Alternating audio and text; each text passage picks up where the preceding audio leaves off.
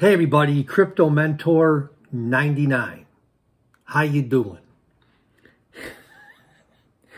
It is November 6, 2020, right after lunch. Um, during the pandemic, I started to do some day trading, and I probably did more day trading pretty consistently March, April, May, June, July, August.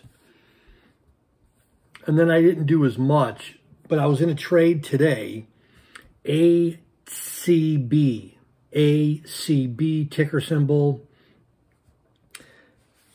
Um, I think I saw it this morning at like $9, $9.30. And I watched it go all the way up to $11. I'm like, I got to jump in on this.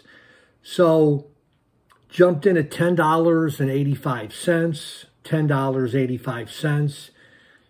Got out like four minutes later at 11.27, $11.27.